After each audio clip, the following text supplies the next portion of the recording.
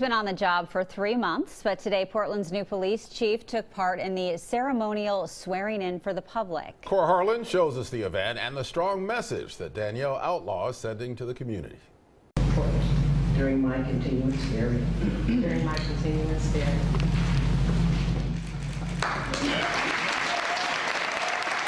Portland Police Chief Danielle Outlaw did not mince words in remarks after her swearing in ceremony this morning. She talked of racist tactics police of Portland used 100 years ago to control and marginalize minority communities. Those antiquated police practices, she says, have contributed to the distrust and tension that exists between minority communities and the police today.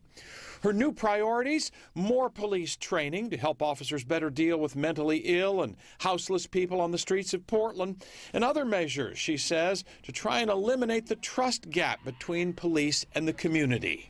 And I will ensure solid policy and oversight exist to safeguard accountability and transparency. Additional training at all levels to include the prioritization of de escalation.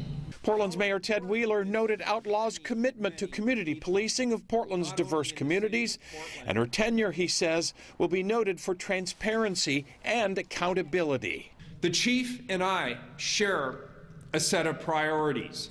I want to make this very clear. We are a team, and I stand with Chief Outlaw. He predicted she'll become a trusted leader who will help improve policing and nurture trusting and meaningful relationships between the police force and the people in the city of Portland. Kohr Harlan, KOIN 6 News.